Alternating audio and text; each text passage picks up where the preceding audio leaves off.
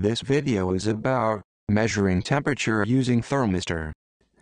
To do so, we need the trainer kit with inbuilt heating arrangement and a thermometer.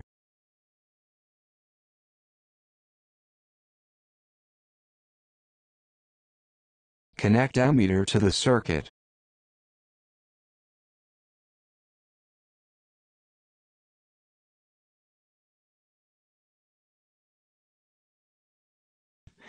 Connect the thermistor to the thermistor terminals, and insert it into oven.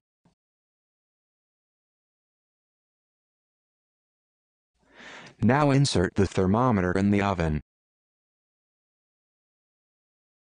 Now let's calibrate the ammeter.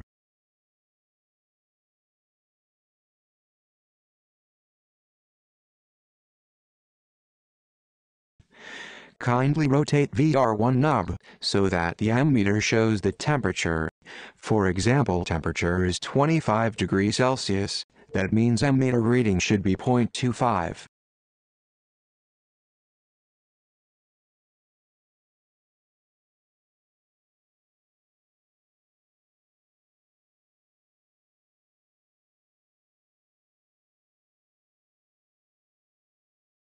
Switch on the oven and see the increase in temperature in mercury thermometer, and the value in ammeter, and note it down in the table.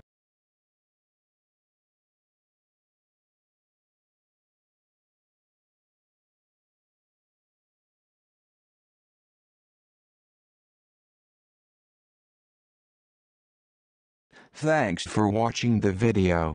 If you liked the video please do subscribe, and click the bell icon for new updates.